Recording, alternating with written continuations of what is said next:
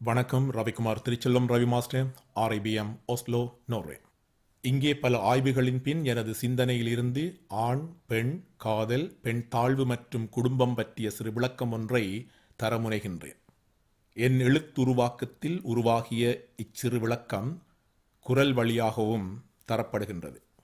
இங்கே பாகம் ஒன்று பாகம் இரண்டு என பிரிக்கப்பட்டுள்ளது. நேரம் கருதி. எனவே இரு பாகங்களையும் கேட்குமாறு கேட்டுக்கொள்கின்றேன். பாகம் இரண்டு என்பது மிகவும் முக்கியமானதாக படுகின்றது. இப்போ பாகம் இரண்டை பார்ப்போம். பிள்ளைகளையும் பிற பிள்ளைகளுடன் ஒப்பிடுதல் பாரிய மன அழுத்த பிரச்சனையை பிள்ளைகளுக்கு ஏற்படுத்துவதுடன் அவர்கள் சிறு வயது முதலே பிறர் மீது கோபம் எரிச்சல் பொறாமை போன்றவற்றை காட்டக்கூடியவர்களாக மாறுவர். பிற்காலங்களில் தனி மனித தாக்குதல்களிலும் இறங்குவர். அடைப்புக்கு வெளியில். பொதுவாக குடும்ப பிரச்சனை என்று அடிக்கடி கேள்விப்படுகின்றோம். ஏன் என்று சிந்தித்தால் இப்போ இருக்கும் மனித இனம் தோன்றும் போது அடைப்புக்குள் ஏனைய விலங்குகளும் தான் அடைப்புக்கு வெளியில் ஆணுக்கோ அல்லது பெண்ணுக்கோ ஓர் துணைதான் ஆரம்பம் முதல் இறுதி வரை இருக்க வேண்டும் என்ற சிந்தனையுடன் தோன்றவில்லை. ஆரம்பத்தில் மனித இனம் உணவு உறைவிடம் மற்றும் உயிர் பாதுகாப்புக்காக தேவை கருதி அப்பப்போ ஆணும் பெண்ணும் ஓர் கவர்ச்சியால் இணைந்தார்கள். அங்கே உடல் உறவும் இடம்பெற்று இனப்பரம்பலும் நடைபெற்றது. அடைப்புக்குள். இது கண்டிப்பாக நடைபெற இரு பால் சிந்தனையிலும் உறுதியாக இயற்கையாக கட்டமைக்கப்பட்டது. அடைப்புக்கு வெளியில். ஆனால் ஓர் துணை மட்டும் என்ற கட்டமைப்பு தற்காலத்துக்கேற்ப அனைத்தும் மனிதர்களால் வலுக்கட்டாயமாக மனிதர்களுக்கு கடைப்பிடிக்க கட்டளையிடப்பட்டவை. பெரும்பாலும் ஆண்களால். அடைப்புக்குள் இங்கே பல கரு உருவாகினால் பராமரிப்பில் வரும் பொருளாதார நெருக்கடிக்கு பயந்து பெண்ணும் அடங்குவதற்கு ஓர் காரணம் எனலாம். ஆனால் இப்போ கரு உருவாகாமல் தடுக்க பல வழிகள் உண்டானதால் பெண்கள் அடங்க வேண்டிய தேவை அங்கேயும் அவர்களுக்கு விடுபடுகின்றது. அடைப்புக்கு வெளியில் உண்மையில் பெண்ணினம் தான் யாருடன் இனவிருத்தி செய்ய வேண்டும் என்பதை தன் விருப்புக்கேற்ப சரியாக தேர்வு செய்யக்கூடியது. அடைப்புக்குள் தற்கால சட்ட திட்டங்கள் கடைப்பிடிக்க வேண்டும் அது வேறு. இங்கே நான் குறிப்பிடுவது இயற்கையால் சிந்தனையில் பதியப்பட்டவை. அடைப்புக்கு வெளியில் ஆணினம் இதில் மாறுபட்ட எண்ணங்களை கொண்டது. இங்கே பெண்களின் முழு விருப்புக்கு மாறாக தேர்வை திணிக்கும் போது பின்வரக்கூடிய பிரச்சனைகளுக்கு அடிக்கல் நாட்டப்படுகின்றது. அடைப்புக்குள் இங்கே காதல் திருமணம் இரு வகையாக நான் பார்க்கின்றேன். முதலில் ஆண் ஓர் பெண் மீது ஆசைப்பட்டு அவள் பின்னாலேயே அலைந்து திரிந்து பின் அவளை சம்மதிக்க வைத்து நடத்தப்படும் காதல் திருமணத்தில் காமமே மேலோங்கி இருக்கும் என்பேன். இது ஓர் வகையில் பெண்ணை கட்டாயப்படுத்தி அல்லது ஏமாற்றி மனம் முடித்தலாகும். இவ்வேளைகளில் ஆண்கள் பொதுவாக பயன்படுத்தும் சொற்களை ஆராய்ந்தால் அதில் ஓரளவு உண்மை இருத்தல் புரியும். அதாவது அவளை மடக்கிவிட்டேன் விழுத்திவிட்டேன் கவுத்துவிட்டேன் போட்டுவிட்டேன் சம்மதிக்க வைத்துவிட்டேன் போன்றவை. இதற்காக பல ஏமாற்று வேலைகளை செய்யும் ஆண் பிற்காலத்தில் வேகமாக பெண்ணிடம் தோற்றுப் போகின்றான். மாறாக பெண்கள் விரும்பி ஓர் ஆணை தெரிவு செய்து காதலிப்பது அதை முதலில் வெளிப்படுத்தி அவனும் ஏற்றுக்கொண்டு திருமணம் முடித்தல் குடும்பத்துக்கு ஆரோக்கியமானது. காரணம் அங்கே எதிர்கால குடும்ப வாழ்க்கைக்கான ஓர் உறுதியான திட்டம் பெண்ணிடம் ஆரம்பத்திலேயே இருக்க வாய்ப்புள்ளது. இதுவே இயற்கை. பெண்கள் காதலை முதலில் வெளிப்படுத்துவது தவறு என சொல்லும் ஆதிக்க சக்திகள் இப்பவும் இருக்கத்தான் செய்கின்றார்கள். இருப்பினும் பெண்கள் முதலில் காதலை வெளிப்படுத்துவதே சிறந்தது என்பேர் இங்கே அண்ணனும் நோக்கினான் அவளும் நோக்கினாள் என்ற காதலும் குடும்ப வாழ்வுக்கு சரிவரும் என்றே படுகின்றது. அடைப்புக்குள் என்ன?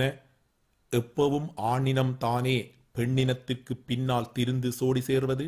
இதுதானே இயற்கை இதுதானே காதல் என்றால் இது காதலாக சித்தரிக்கப்பட்டாலும் மனிதனால் உருவாக்கப்பட்ட இறுதி வரை ஓர் குடும்பம் என்ற வாழ்வுக்கு சரியான காதலாக அமையுமா என்றே சிந்திக்க தோன்றுகிறது. அடைப்புக்கு வெளியில் காதல் என்பது உண்மையில் ஆணுக்கோ பெண்ணுக்கோ பல தடவை வேறுபட்டவர்களுடன் வரக்கூடியதே இயற்கை. இங்கே காதல் பயப்படல் என்பது வேறு காதலால் அன்போடு அரவணைப்போடு ஆதரவாக வாழ்தல் என்பது வேறு. இதை ஆழமாக புரிதல் என்பதும் நிம்மதியான குடும்ப வாழ்வுக்கு அவசியம். அடைப்புக்கு வெளியில். சரி மற்றது மேலே நான் குறிப்பிட்ட சில விடயங்களுக்கு ஏற்ப ஓர் பெண் தன் பிறப்பால் தன்னை சுற்றி இருந்தவர்களையும் தனக்கு பிறந்ததால் தன்னை சுற்றி இருப்பவர்களையும் மட்டுமே என்றும் பாதுகாப்பாகவும் பாதுகாக்கப்பட வேண்டியவர்களாகவும் சிந்திக்கக்கூடிய வகையில் தான் இயற்கை உருவாக்கியுள்ளது. இயற்கையாக உண்மையில் துணை என்பது பெண்களுக்கு கரு உருவாகுவதில் இருந்து குழந்தை பிறந்து அது நடந்து தன் வேலைகளை செய்ய ஆரம்பிக்கும் வரைதான் அவசியப்படுகின்றது. அதன்பின் பெண்ணின் சிந்தனையில் ஆண் துணையின் சிந்தனை ஆழமாக இருப்பதில்லை.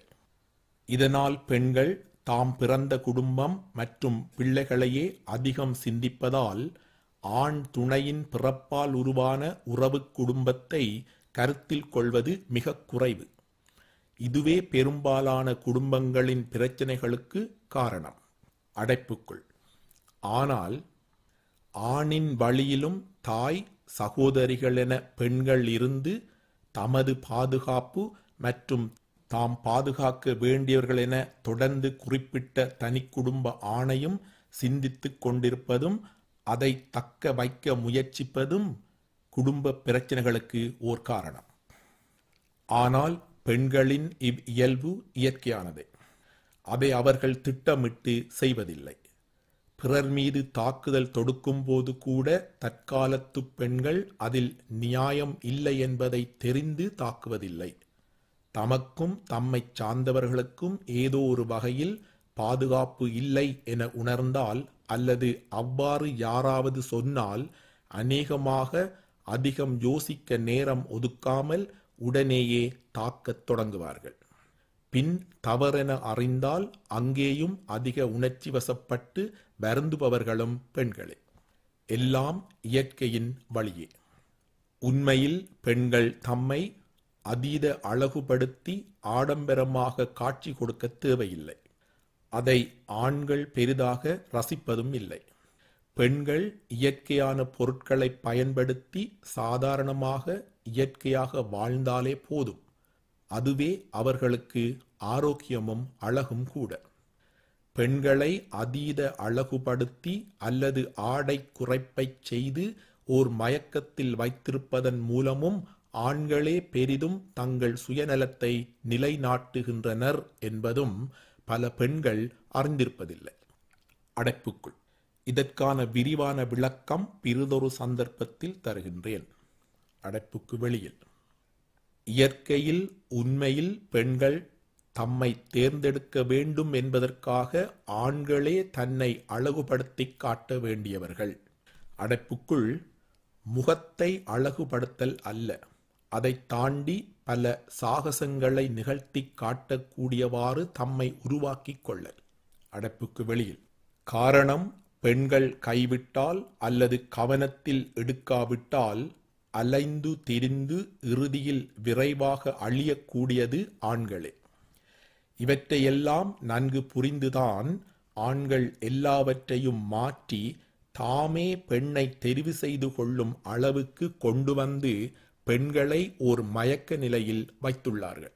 தற்காலிக சட்டத்திட்டங்கள் பெண்களுக்கு சாதகமாக அமைந்து கொண்டு போவதால் பல புதிய வழிகளிலும் மேலும் பெண்களை கட்டுப்படுத்த முனைகிறார்கள் பல ஆண்கள். அடைப்புக்குள் இதற்கான விரிவான விளக்கம் பிறிதொரு சந்தர்ப்பத்தில் தருகின்றேன். அடைப்புக்கு வெளியில். இங்கே ஓர் குறிப்பை சுட்டிக்காட்டவும் வேண்டும். அதாவது சிறு வயதில் இருந்தே போதிய போதனைகள் ஆண் பெண் இரு பாலாருக்கும் புகுத்தப்பட வேண்டும். இல்லையெனில் தற்போது வளர்ந்தோர்க்குச் சொன்னால் சிலருக்கு இவ்வாறு கேட்கவும் தோன்றும். அதாவது நான் என் தந்தைக்கு தாய்க்கு பிள்ளையாகவும் என் தந்தை தாயின் பெற்றோர்களுக்கு பேரப்பிள்ளையாகவும் பிறந்தது மற்றும் அவர்கள் அவர்களின் சொந்த பந்தங்களால் வளர்க்கப்பட்டது என் தப்பா எனக் கேட்கவும் தோன்றலாம். போக பெரும்பாலும் இயற்கை செயற்கை அனர்த்தங்களாலும் மற்றும் சேர்ந்து வாழ்ந்து பல பிள்ளைகளை பெற்றெடுக்க முடியாத நிலைக்கு தள்ளப்பட்டு கொண்டிருப்பதாலும் போன்ற காரணங்களால் அருகி வரும் மனித இனம் அழிவின் விளிம்பில் ஓர் நாள் வரும். அப்போது பெண்களே அதிகம் மனித குலத்திற்கு அவசியம் தேவைப்படும் பயனுள்ளவர்களாவர். எனவே இக்காலத்தில் இருந்தே ஆண்களே ஒன்றை புரிந்து கொள்ளுங்கள். சுதந்திரமாக திரிந்த பெண்ணினத்தை வலுக்கட்டாயமாக வீட்டுக்குள் பூட்டி வைத்துவிட்டு ஐயோ என்னால் வீட்டில் இருக்க முடியவில்லையே தொல்லை தாங்க முடியவில்லையே என்று கத்துவதில் பிரயோசனமில்லை. பெண்கள் சுதந்திரமாக திரியும்போது அவர்கள் தம் வசதிக்கும் விருப்புக்கும் ஏற்ப எல்லாவற்றையும் தெரிவு செய்தார்கள். இப்போ உள் அமர்த்தப்பட்டால் அவர்கள் விரும்புவதையெல்லாம் பெற்றுக் கொடுக்கவில்லையெனில் ஆண்கள் தினம் தினம் அவஸ்தைப்பட்டே ஆக வேண்டும். அது இப்போ இருக்கும் மனிதர்களின் தவறும் இல்லை. அது மூதாதையர் தவறு. அதை இப்போ எப்படி திருத்துவது என்பதுதான் முக்கியம். வரும் காலம் பெண்களின் ஆதிக்கமும் அதிகாரமும் தான் எங்கும் குறிப்பாக அரசாங்கங்களிலும் கூட பரவலாக மேலோங்கி இருக்கும் அப்போது பெண்கள் ஆண்களை கைவிட்டால் அடைப்புக்குள். காரணம் குழந்தை ஆணின்றி பெறுவதற்கும் குடும்ப பொருளாதாரத்தை பெண்களே தனித்து பெருக்கிக் கொள்வதற்கும் அவசியமெனில் ஆண் இல்லாமலே பெண்கள் தம் வேறு தேவைகளையும் பூர்த்தி செய்யவும் எல்லா வசதிகளும் ஏற்கனவே உருவாகிவிட்டது. எனவே மீண்டும் குறைந்த வயதில் அல்லல் பட்டு விரைவாக மரணத்தை தழுவிக்கொள்வது எதிர்காலத்தில் ஆண்களாகவே இருப்பர். எனவே குடும்பமாக இருப்பவர்கள் இயற்கையை புரிந்து கொண்டு ஆரம்பத்தில் இருந்தே ஒருவருக்கொருவர் விட்டு கொடுத்து குறிப்பாக பெண்களுக்கு அதிகம் விட்டு கொடுப்புகளை செய்வதன் மூலம் இறுதி வரை அனைவரும் மகிழ்ந்திருக்க வேண்டுகின்றேன். நான் ஏற்கனவே ஓர் சந்தர்ப்பத்தில் குறிப்பிட்டிருக்கின்றேன். இன்னும் ஓர் ஐம்பது முதல் நூறு வருடங்களில் அநேகமாக ஓர் வீட்டில் ஒருவரே குடியிருப்பர். இதில் பெண்களே அதிகம் பிறர் கதவை தட்டுவர் என்று. அடைப்புக்குள் இதற்கான விளக்கம் சற்று இங்கேயும் இருந்தாலும் விரிவான விளக்கம் பிறிதொரு சந்தர்ப்பத்தில் தருகின்றேன். அடைப்புக்கு வெளியில். எனவே இறுதியாக பெண்கள் நினைத்தால் ஆண்கள் இல்லாமல் எதிர்காலத்தில் வாழ முடியும். ஆனால் நீண்ட ஆயுளோடு ஆரோக்கியமாக வாழ பெண் இல்லாமல் ஆண் வாழ முடியாது. அவ்வாறு வாழக்கூடியவாறு இயற்கையும் ஆணை படைக்கவில்லை. பின்குறிப்பு. பல வருடங்களாக பல ஆய்வுகளைச் செய்து வழங்கப்படும் விஞ்ஞான விதிகளுக்கே விதிவிலக்கு உண்டு. என்பதுதான் விஞ்ஞானமே. இதையும் இங்கே புரிதலும் நன்று. முடிந்தால் குறைந்தபட்சம் இருமுறையாவது வாசியுங்கள் கேளுங்கள். வணக்கம். Ravikumar Thiruchellam Ravi master Oslo Norway.